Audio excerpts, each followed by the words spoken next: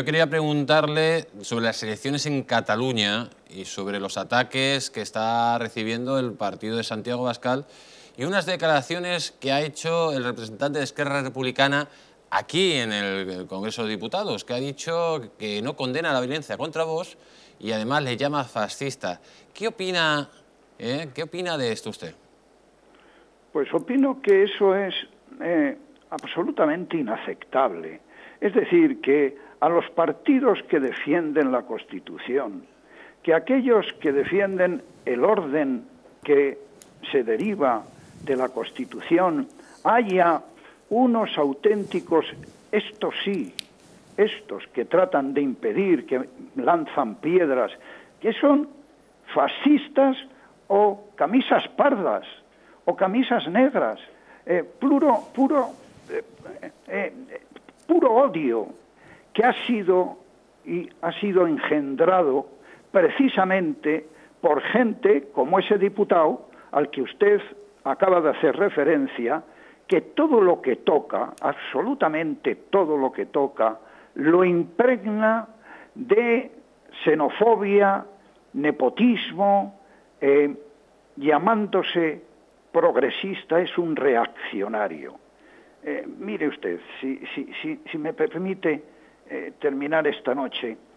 Eh, España, a la que algunos dicen esas cosas a las que se refiere Pablo Iglesias, como Pablo Echenique, por ejemplo, este, este político español que salió de Rosario en Argentina con 13 años para venirse a España para que la sanidad pública española cuidora de su estado de salud, de su estado de minusvalía, que estudió en las escuelas y en las universidades españolas, que es físico porque el conjunto de los españoles ha pagado sus impuestos para que pueda gente como él venir desde Rosario a estudiar una carrera mejorar su salud y te encuentras de repente con que es un hombre que solo sabe hablar mal de nuestras instituciones. Pero, ¿qué es lo que nos pasa a los españoles cuando le recibimos, le, recibimos con los brazos abiertos?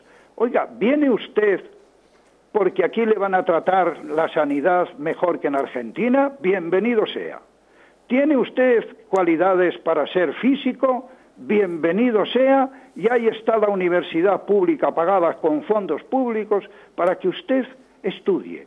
Pero, oiga, incluso cuando la princesa Leonor va a estudiar a un colegio donde, por cierto, estudió una hija de Nelson Mandela, siempre tienen que buscar la descalificación la confrontación, el intento de socavar los elementos fundamentales de la Constitución, es algo verdaderamente increíble y que los españoles tenemos que tenerlo presente cuando gente como esta, que yo llamo gentuza, nos pide a los españoles el voto. Pero ¿cómo es posible?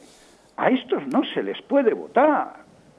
Estos son un peligro para nuestro país y la mejor demostración de lo que digo es que, además de tratar de confrontar permanentemente en la vida política, ¿usted conoce algo que hayan hecho medianamente bien en la gestión del gobierno durante el año que llevan gobernando?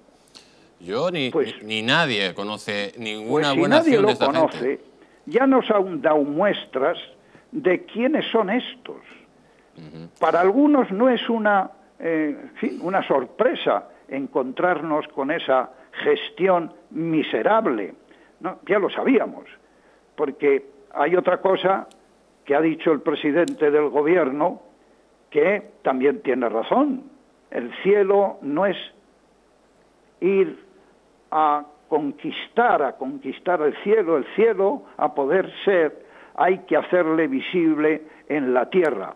Pero precisamente ese presidente que dice esas cosas y que dice ese eso que dijo en un mitin en 2018, ese presidente, si este no presenta la dimisión, la dimisión, lo que tendría que hacer es cesarle. Cesarle, porque el Consejo de Ministros es un órgano colegiado. No puede ser, no es posible que cada uno vaya por a su aire, diga lo que le salga de las narices. Pero ¿qué es esto? Somos el ridículo del mundo. Además, en un contexto donde una potencia mundial como Rusia nos había puesto en el ojo del huracán. Es absolutamente inaceptable. Eso no lo puede hacer ningún miembro del, del gobierno y yo diría incluso más, yo diría que ningún español de bien. Don José Luis Corcuera, muchísimas gracias por haber estado en el Mundo al Rojo. Cuídese usted muchísimo porque sabe que le necesitamos. Un fuerte abrazo. Un abrazo a ustedes.